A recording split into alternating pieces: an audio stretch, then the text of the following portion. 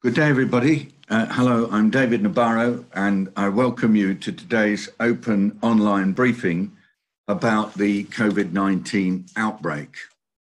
Uh, I just want to say that we've done some changes this time to our way of working because we had some unexpected participants in previous webinars.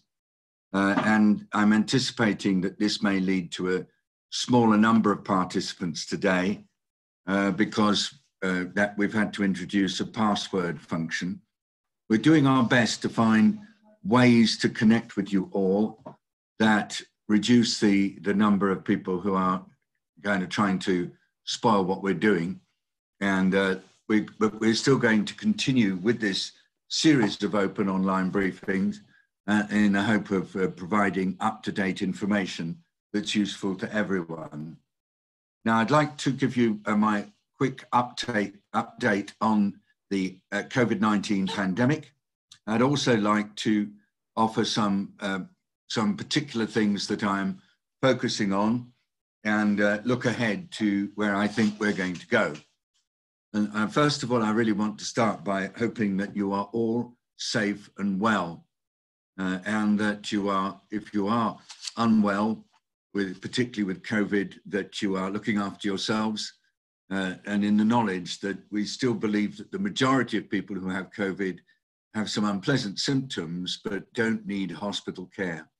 If you're a health worker, I send you my warm, warm wishes and incredible gratitude for what you're doing. Uh, I actually do understand how challenging it is. And some health workers are in uh, expanded units or special testing centres that have been set up and are finding that at the moment they don't have many people to, to respond to. And that's because of the way in which this pandemic works. It doesn't go everywhere and affect everybody in a community.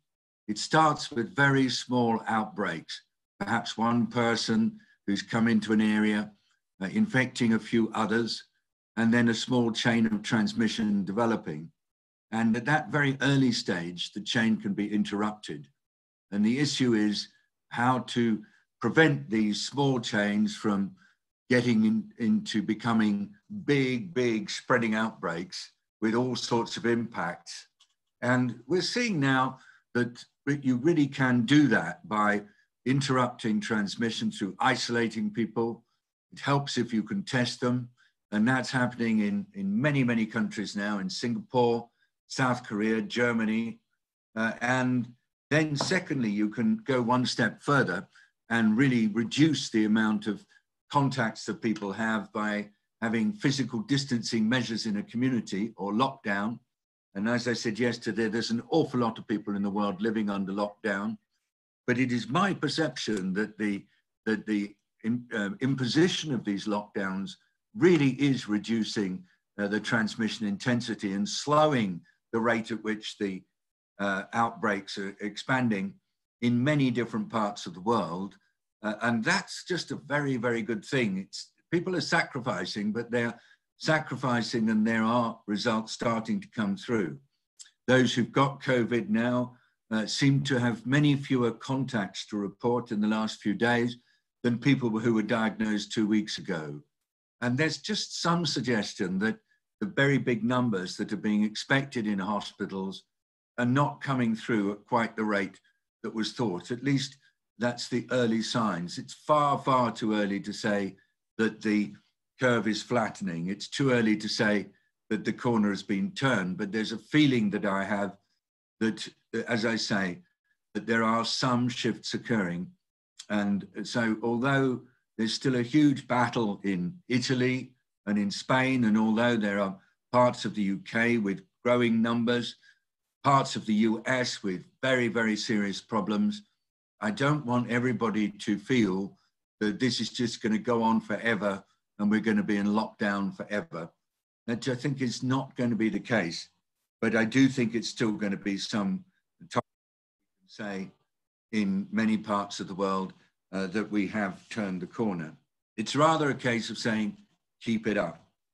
Um, let me just give you I mean, the numbers uh, are, of course, disturbing. I've said many times that this is a uh, pandemic where we've got cases doubling um, every, numbers of cases doubling every three days. But um, what I'm hearing also is that there are reports of cases coming, increasing again in parts of South Korea and increasing again in parts of China, showing that every country has to be vigilant and on the defense against the return of the virus.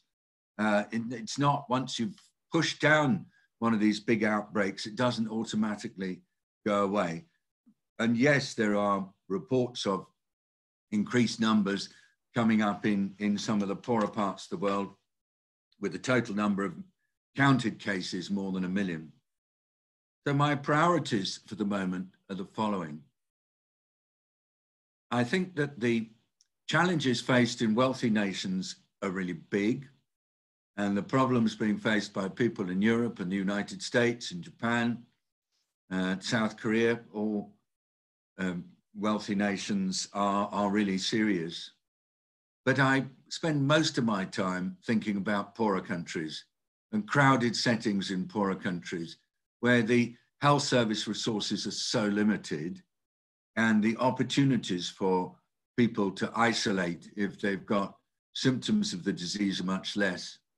And I get many people now asking me, what about those living in favelas in Sao Paulo or in the townships in South Africa or in urban concentrations in India?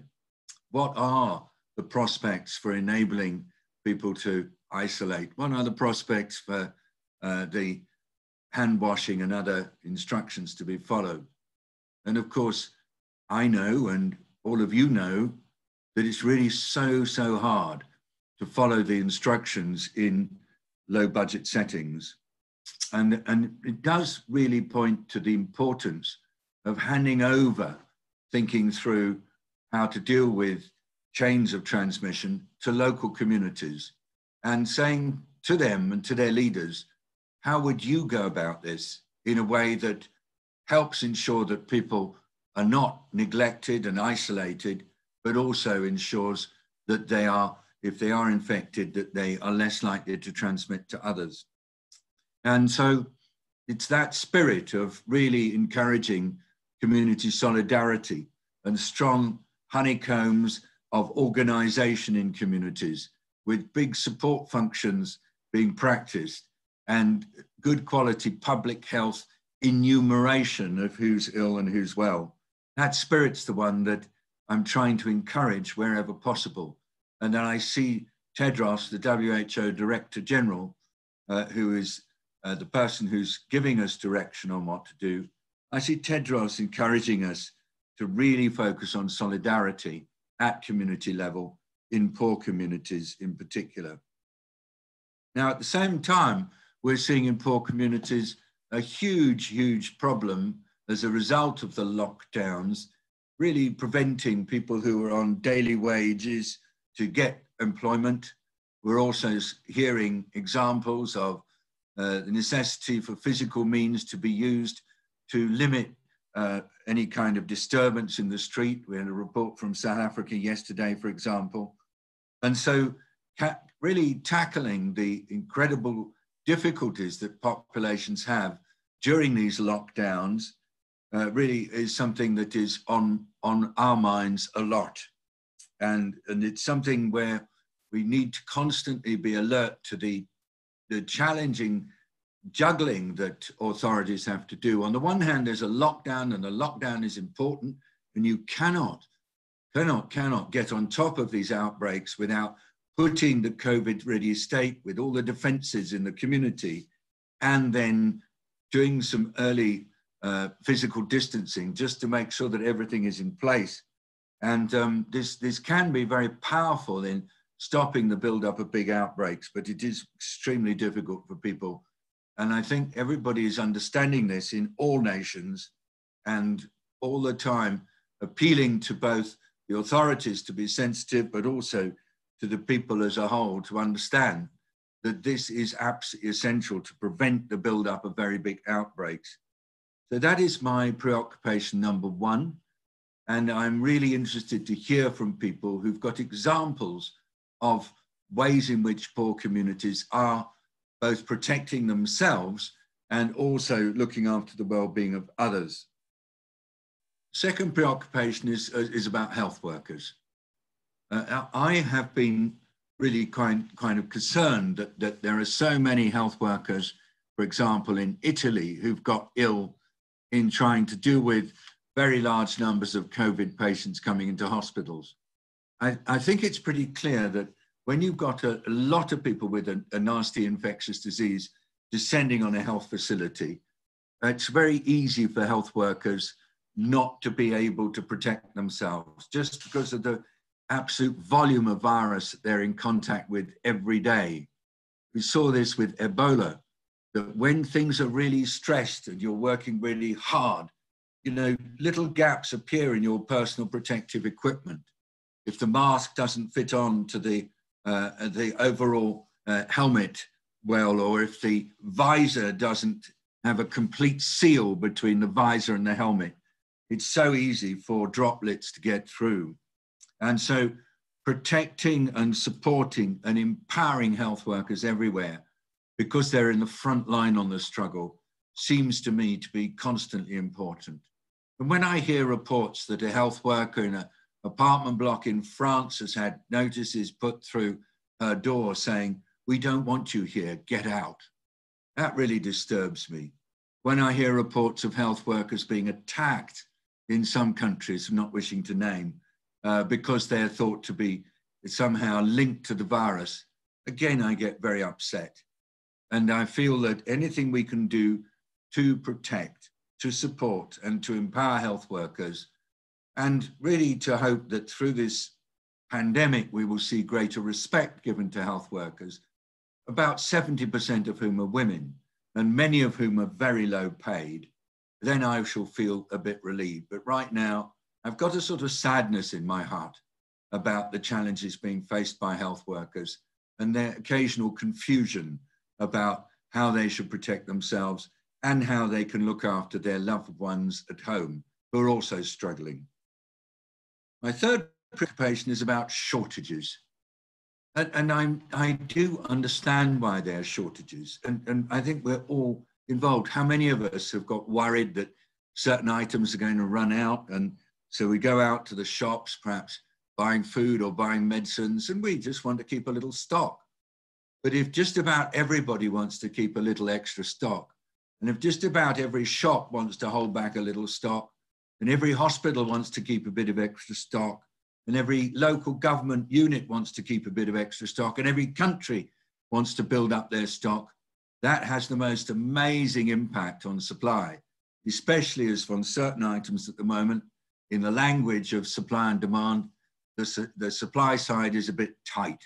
And that applies, uh, sorry, and the demand side is very high. And so that applies to virus tests, that applies to personal protective equipment, it applies to masks, it applies to ventilators, and it applies to oxygen and medicines, and then it applies to food. That the fact is that food is being withheld in various places and prices are going up. We have reports from not so much from European and North American markets, but we do hear it from India and from Africa. So I am obviously focused on shortages. Now, how can you deal with these shortages? One is to increase production. Two is to have some kind of control over the, where the supplies are going. Three is to establish independent distribution systems. And of course, for food, that's been done for years. And we have a whole system called the World Food Programme, which is on high alert to deal with the possibilities of hunger and food shortage in different areas. But in, on the health supplies, we have a system, but honestly, it is overwhelmed. And we're adding in extra issues to this system, such as coronavirus testing kits. And they're in an exchange with some of the manufacturers trying to find out what the options are. And also things like soap and hygiene products, where there's a lot of, of good stuff coming on the market, some of it free, but getting the distribution system in place is difficult. And I'm so excited to hear of some really, really good initiatives where new finance is coming in, new factory capacities being built, new uh, ordering and distribution systems are being set up, and then uh, a, a, a, market responsive, uh, a responsive mechanism is in place for protective equipment in some parts of the world that will just help to deal with some of the terrible log jams. It's all got to be done super fast, and there are global shortages. I've got another preoccupation, uh, which I'll finish in a minute, my opening remarks. Another preoccupation, which is about really the way in which the world is, is managing this emergency. I've mentioned it to you before, but my thinking has really advanced just given the, the, the challenges associated with the lockdowns and the fact that I think that coming out of the lockdowns into what I'm calling the COVID ready state, which will be in place for many months, this is going to need international cooperation. Otherwise, re-establishing the whole travel industry and even movements within countries is going to be difficult, let alone movements between countries. And that reason for that is there's going to be a lot of suspicion of uh, travelers and questions about where they're coming from.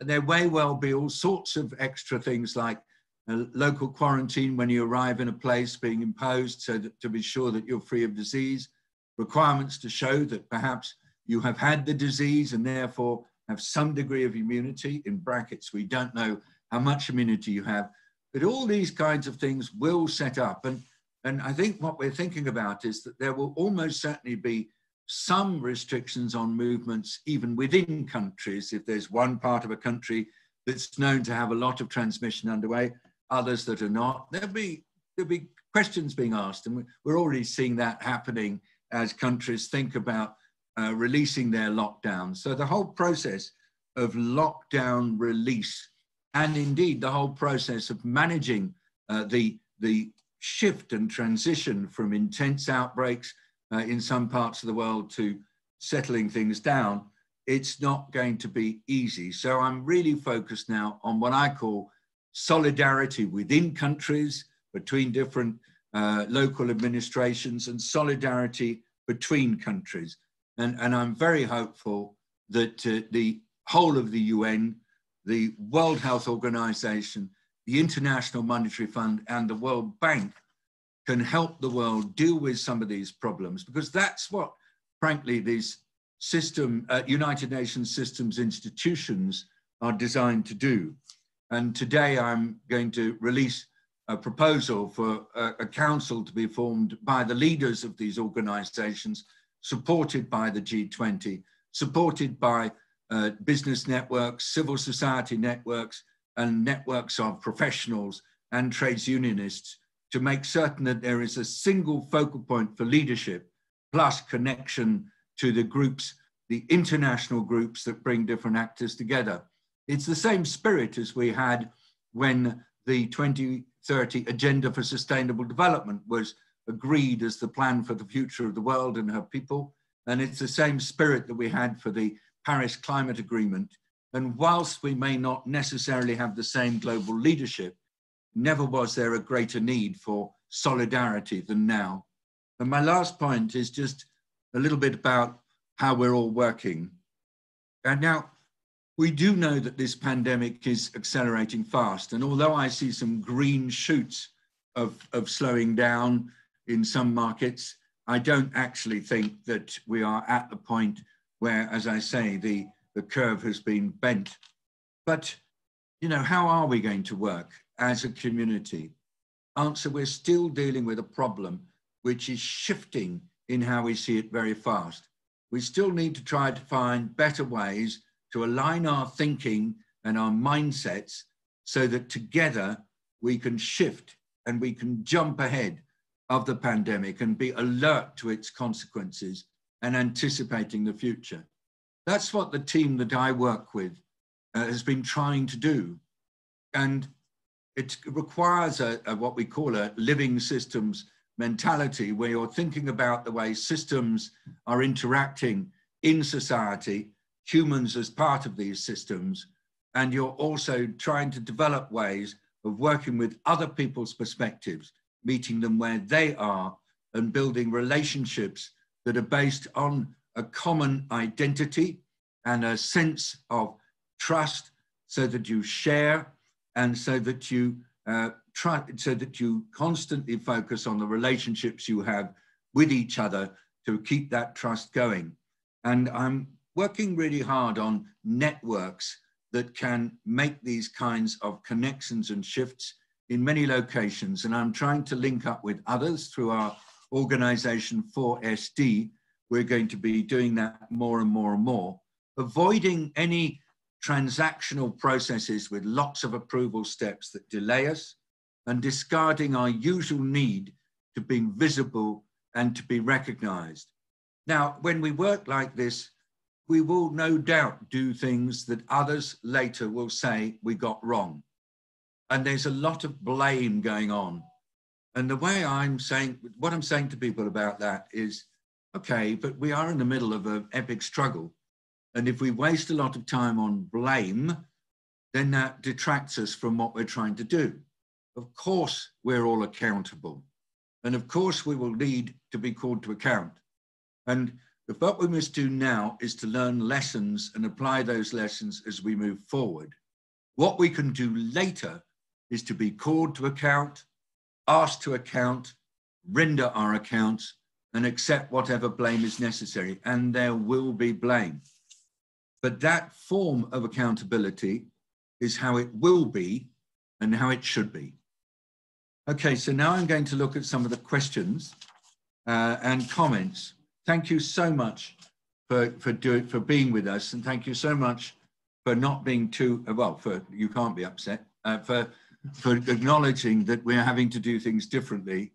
It's only because the uh, Zoom bombers really uh, they bomb me. I don't think you necessarily saw them bombing, but they do make it quite difficult for us to manage an open briefing like this if they're putting a, a peculiar images onto uh, our, our feed all the time and filling the chat with obscenities. So I first, um, why, first question, why is WHO spending time and energy um, denying that the virus is airborne. This might be important for healthcare workers, but it does confuse the general public if it's being said by scientists that it can stay in the air for three hours. Now, what the World Health Organization is trying to do all the time is to give uh, people information based on what's known so that they can make judgments themselves about risk. And because handling this particular pathogen all the time requires us to judge and all the time requires risk assessments. And so the position that we've said for all um, respiratory pathogens uh, that are carried in respiratory secretions is that the primary mode of transmission is through droplets. So when you cough or when you speak or when you sneeze, tiny, tiny droplets, they really are microscopic, come out of your mouth and they spread for about a meter and a half maximum. And then uh, if you are beyond that meter and a half, you are safe.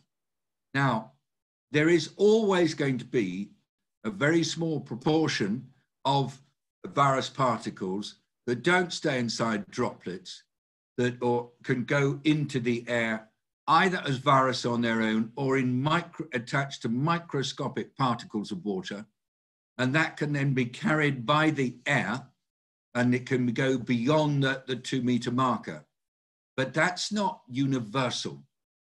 That is, as far as we can tell, and I'm just all the time basing myself on this assessment of evidence, as far as we can tell, that seems to be a, a much less important mode of transmission in certain settings, particularly in very in unventilated environments, that limited amount of airborne virus can be quite important. And we've seen in, in cruise liners and so on that may be relevant.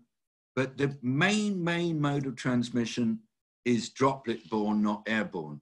I think if the World Health Organization felt that airborne was a major mode of transmission, they would certainly say it. And I would certainly say it as a public health person but I'm just trying to give you the balance. And, and, and if, the, if the general position changes, then of course the World Health Organization will change. I actually reviewed modes of transmission the other day. Let me just add that although virus particles are found in feces, it's not thought that fecal oral transmission is a mode of transmission. Or, and particles of virus in droplets do rest on surfaces. Uh, we again don't know for how long they stay infectious. So that does mean cleaning surfaces and hand washing is so important. But uh, I hope that that's a, a, a clear statement. And I'm going to really continue to say to you, what I share with you is what I know. And when I am not sure about things, I'll tell you. And when I think that there is a balance being struck so that we've got an, adequate information on which to assess our own risks, I will tell you. Question two. In Africa, we have to stress the issue of cross border and the quarantine system to be in place. Uh, food security and sanitary equipment will be a major cause of concern. Social distancing in Africa is questionable because of culture and other tribal practices. What is your advice to community and religious leaders on this? I want to start with the second part.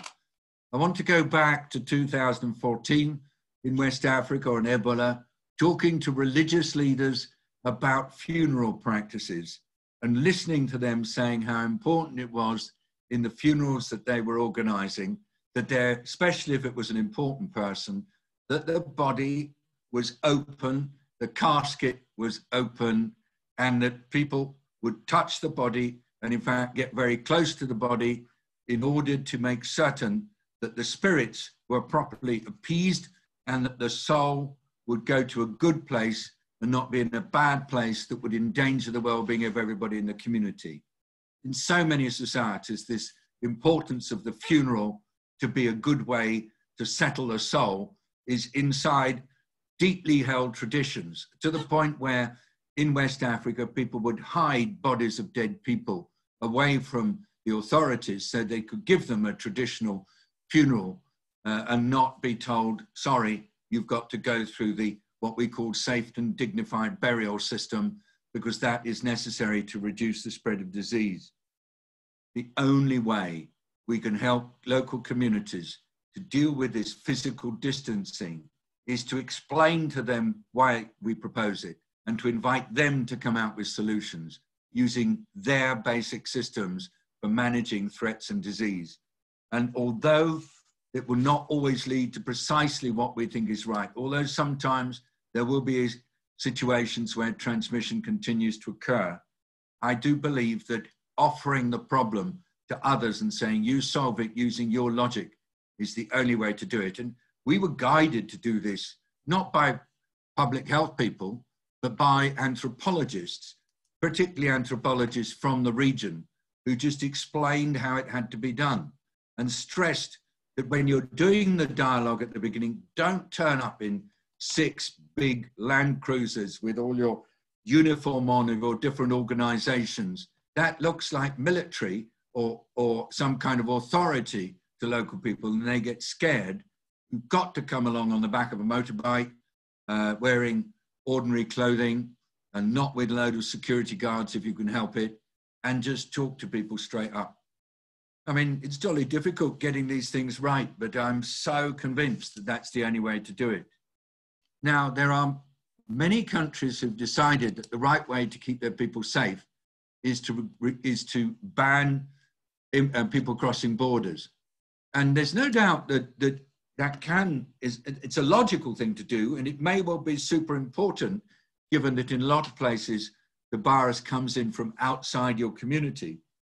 But honestly, you can't put up barriers to the virus simply by stopping everybody to travel uh, we've seen in so many countries in Europe and the US that still the virus comes. So I'm trying to say, you know, if you want to control where, the people are coming in, you probably have to resort to what's being done now in some Asian countries of actually saying, okay, come, but we have to put you into quarantine for perhaps a week or two weeks, depending on the local rules, and then you can enter our country. Some system like that may well be necessary. But most importantly, the, the issue, the virus is, we believe, carried in people. It's not carried in goods. It's not carried in vegetables. It's not carried in packets of medicines. It's, and, and it's so really, really important that we're clear about that. And so there should be, in my view, no reason to have big pile-ups of goods at borders because of COVID. You could possibly be asking the drivers to change and to leave the truck somewhere. One driver is one side of the border and another driver comes to pick the truck up. And you can also, of course, if you really feel you need to, do some a lot of cleaning. But remember, this virus doesn't last for long on surfaces, so you can leave the vehicle for a few hours and then it should be safe. But of course, it'd be the right thing to wipe down the steering wheel and all that stuff. But I'm, I'm quite uh, uh, surprised that there are, according to my reports I've heard, massive queues of trucks at borders because of this.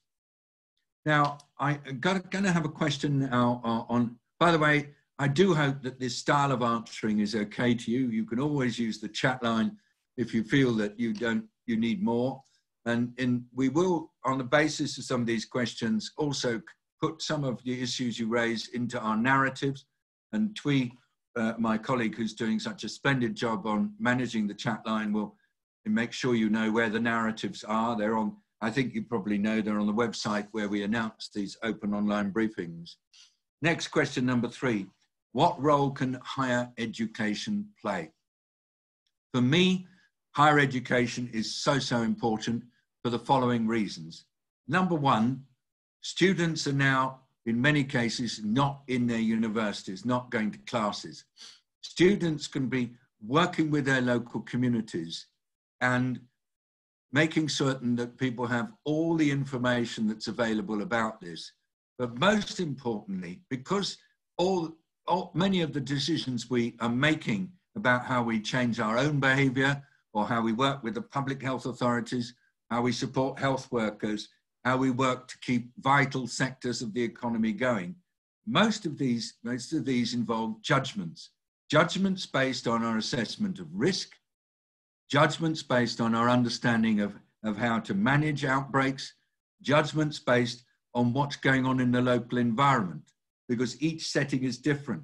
So it's a really fascinating and complex challenge to link together the principles of public health uh, when we have some understanding of what's risky and what's not risky, an understanding of the disease inside our communities, and an appreciation of the, of the environment. Now, I believe that people in higher education can do a fabulous job just connecting the different groups of actors in the community, encouraging dialogue, weaving together some of the ideas, sharing what's known from the science through looking at what's on websites, trying to, to tell people what they perceive to be disinformation, what they perceive to be information, helping to interpret government advice, and more generally, uh, working with communities so that they are stronger. The second thing, of course, is the important role of higher education in maintaining a capacity among students to continue learning and working even though the universities have, have uh, disbanded in some cases. And thirdly, in doing research, not just research on the biomedical science, which is, of course, what gets in the newspapers, but research on how it is best for communities to work together, how it is best for authorities and communities to interact with each other, how it is best for communities to establish a way to defend themselves against the virus. I've got a question here saying, are we listening to the true leaders? Uh, I divide that into two parts. Who are the true leaders and what does listening really mean? The true leaders in an issue of this kind are the leaders who are able to deal with complexity, able to deal with multiple interacting processes at the same time, not scared of having to cope with challenging trade offs, ready to shift position when there's evidence they've got to do so. They are everywhere. And I, I really would like to encourage a, a much, uh, a, a, broad understanding of, of leadership. And when it comes to listening, yes, we can listen to what people are saying on the, on the, on the media. But what I'm really asking myself all the time is are we actually taking on board what we're hearing and applying it in our own settings and feeding back to them? For me, the leader on this issue is Tedros, the Director General of WHO. It's because there, this is a, a, a pandemic and it requires an understanding of what the virus is doing. and we have to get ahead of the virus and anticipate where it might going, might be going. And so Tedros is leading a team of, for me, the most extraordinary people, and uh, he is the leader. But this is not just a, a medical issue. It's an issue of society, of economy, of livelihoods, where human rights in some cases are not necessarily being recognized. It's an absolute tragedy in poor communities. It could unravel development gains over the last decade. And it's particularly challenging in refugee settings. It's really important that we also have a leader who can understand the challenges of, of inequity and how that's playing through. And in some cases, inequities will be exacerbated, especially as some freedoms may also be curtailed. So that's why I see this combination of Tedros as the leader of the health community on the pandemic and the Secretary General of the United Nations as the person who leads the organizations whose charter begins we the peoples of the world. The United Nations is the organization for all people. And of course, then he needs to link up with the big economic organizations, the International Monetary Fund and the World Bank. And they don't need to be there to help. But for me, the combination of Tedros and the Secretary General of the United Nations, very strongly supported by my former colleague when I was in the UN, Amina Mohammed, the Deputy Secretary General, who's been so important in bringing the whole UN system together. For me, they're the leaders, and I wish that the world could be giving just a little bit more space to these people just during this emergency. Fifth question Can I get coronavirus if I use a towel, a hand towel, that was used by an infected person? This is thinking of families. So of course, within families, if one person has symptoms, uh, it's quite challenging, especially if the accommodation is small, for that person with symptoms to be able to live separately from the rest. A colleague who I work with whom I work closely described how her husband has symptoms and is in a, a room on his own with his own bathroom facilities Food is put outside the door. Uh, he comes out, picks up the food. So there is isolation done inside the house. But they're fortunate, as, as they tell me, that they have the capacity to do this. Many, many, many others don't. And so they will be living much closer. Now, I would suggest, if that's the case, just try to reduce by when you do have symptoms, if you really, if you've decided that you're people you're living with don't want to get infected for any reason, then it's useful to wear a mask. Because when, if you've got the symptoms, a mask does reduce the distance that your droplets spread. Uh, if you've got an opportunity, do use separate washing facilities. If you have to use the same washing space, then of course, try to use separate towels and try, if you can, to sleep in a separate place. That's just best practice. That's risk reduction. Because, yes, the virus can stay on cloth that people have used. And there are different understanding. It does look as though the capacity of the virus to reside on certain types of material is shorter than other. I'm never quite sure exactly how much to give that because in my experience, having studied these, you know, it all depends on the droplet size. It all depends on how much virus is in the saliva people secrete much, much more virus at the beginning of their coronavirus illness than once it's established. And so I think I would try to separate things like towels, if at all possible, and I would try to have a mask, if at all possible. Now, I want to talk a little bit because I've got a question here on, on the whole food system. I've been working with a number of colleagues uh, who are working, who are involved in food.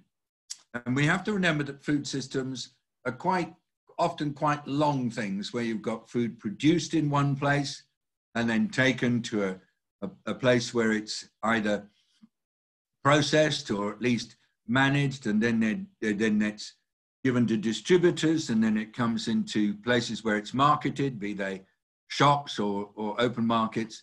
And there are lots of steps on the chain. And there's plenty of opportunities for things to go wrong on food supply chains. At the moment, I'm told that global stocks of key grains like rice, like wheat, like maize are pretty good.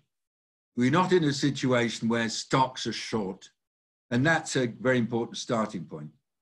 In fact, uh, until recently, the prices of the key commodities, excuse me, the prices of commodities were low. And so that means that, you know, we're not dealing with a, a kind of global shortage situation. But I mentioned this bit about people just stockpiling a bit, like what we do when there's trouble. We're anticipating there may be a shortage. And so there are people keeping stocks in their families, in the local shops, in the local authority areas, in the nations. And some nations are doing quite strong what we call export bans, which means they normally export food, but they're saying no more exports. And so these kinds of behaviors, which are utterly rational, do lead to prices going up. And the people who are most affected by rising prices are, of course, people who are poorest in society. And the people who are poorest in societies are being hit hardest by the lockdowns. So that's why I am advocating for shortest possible lockdown, which means maximum possible effort on the pandemic. So, yes, the pandemic and the lockdowns and food are linked, and we've got to get them all right. But we do need to look at, so that's the big system picture, but we do need to look at the in the challenges in individual places. And the problem of food prices going up is starting to happen. I've heard that members of parliament, this has come from one of you, in New Zealand are asking the public to take photos that show whether or not prices are going up. Uh, what are my thoughts on retailers doing this and on the reporting system?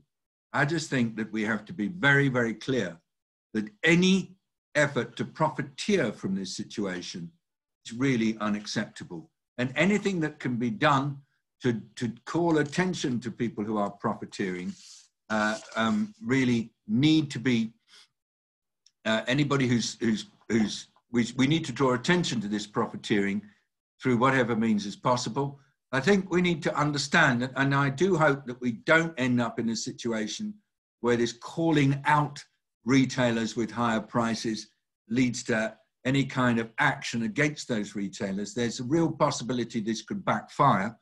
And so uh, I, would, I would really like there to be dialogue at local level with the retailers, with representatives of the public, to inquire as to the reasons to try to resolve without the heightening of tensions and violence. And, I, and there's such a, a narrow line between this kind of public uh, reporting and provocation of civil unrest versus this kind of reporting and stimulation of dialogue and peaceful resolution.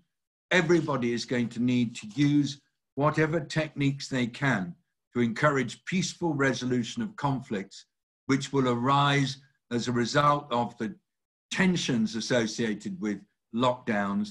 And again, back to why I'm about efforts to bring uh, the outbreaks down and to get them under some degree of containment as quickly as possible all over the world, and to set up defenses against the COVID virus that are humane and respect human rights. I want that done to reduce the duration of lockdowns and to reduce the option for this kind of problem to happen and rioting and other forms of horrid unrest to develop. Um, um, and now I want to go to another lockdown question, number seven. How can the impact of lockdowns be softened? Do we need to choose between restarting the economy and saving lives? Actually, I do think that in various different ways, in multiple different locations, it does feel to politicians as though that is the kind of choice lives versus livelihoods. And uh, of course, if you look at it starkly, that's what it is. But if you dissect the issue, you start to see, well, actually it's all linked, it's interconnected. It's not an either or, it's a both and. But then when it's a both and, it's how do we do both and? How do we do both lives and livelihoods in ways that reduce the numbers of lives lost, but at the same time protect livelihoods as much as possible? And then we can add a third part and come out of this with a world that's safer and more equitable. So what some people call the win-win-win. And uh, so I'm saying what we need to do is to think very hard. How are we doing the public health? Have we got it right? Have we put in place the right defences at the community level? Is there solidarity at community level? And that's such an important part of the whole detect people who are infected, enable them to be isolated, support them in their isolation, find their contacts, quarantine their contacts. Keeping going with that mantra of it's all about what happens in the community and the defense systems that are put in place really, really matters to me. And I keep, keep arguing for it, especially in places where there are very intense outbreaks going on and people are scared, like in different parts of the US. Secondly, I say, if you've got a lockdown, think all the time about the people in that lockdown who are making the greatest sacrifices. Don't see this as an opportunity for social control, for the sticks and the guns to come out. It's not like that. And I know that it feels like that. And I know that it's been, some of these lockdowns were started in a very sudden way.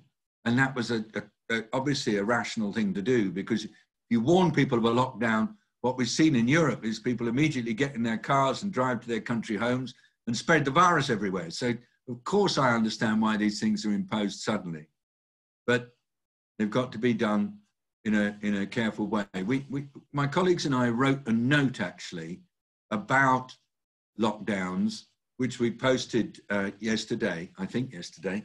You lose track of the days. And uh, I don't think that we've got the answer. I don't think anybody's got the answer. These are really massively difficult political choices. And, and, you know, I do keep saying, well, perhaps the choices wouldn't have to be so bad if we all had better defenses, if we were all able in the sort of Singapore situation. Yeah, but you know, it's no good doing that. It's no good saying it could have been different, though I sometimes do. What we have to say is, we, this is where we're at. These are the issues we've got. How can we do it best? So I think it has to be both and, and I think we have to transition to a better state. But I do know, oh gosh, I'm feeling it. I tell you, I'm feeling it, feeling it, feeling it. Because I've seen in other crises how that can trigger an exacerbation of divisions in society. So we come to question eight. What's the COVID ready state going to be like? I think that to come out of these big outbreaks and to be in a situation where we're able then to defend societies against the virus, to reduce it having this terrible impact where it overloads health systems, endangers health workers and kills an awful lot of people, we recognize that we have to be ready for COVID for the foreseeable future. Some people say, well, it's only till we have a vaccine. I'm being a little cautious and I'm saying if we have a vaccine, because I don't think we should take anything for granted. There's no, uh, no sort of alchemy about making vaccines. Excuse me. A lot of it is about luck and a lot of it is about characteristics of the organism. You know, we've been struggling for ages to find a really good malaria vaccine. Scientists have, and it, it hasn't appeared yet. And uh, vaccine against HIV, very tricky. So not every virus is easy to develop a vaccine against.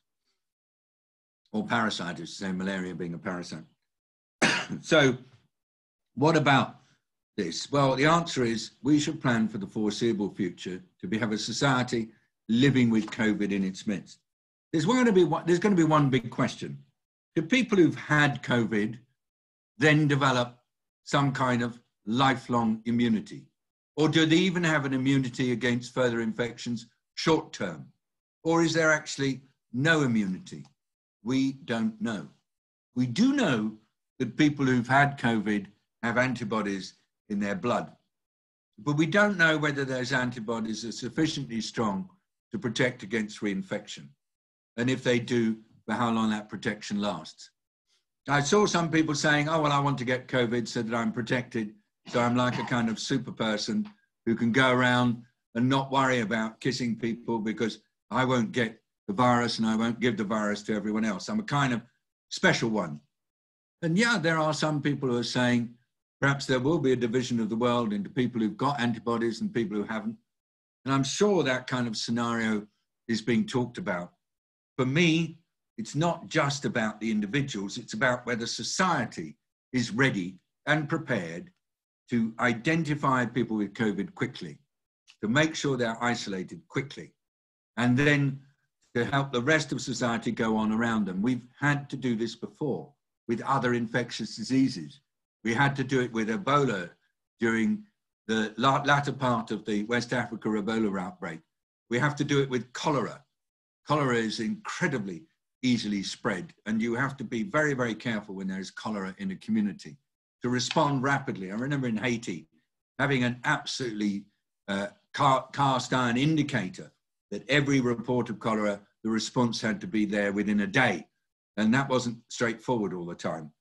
So that kind of readiness and ability to react quickly, an alert and response system in every society is going to have to be there. And it won't feel nice for the people who report their symptoms, and some will try to hide them.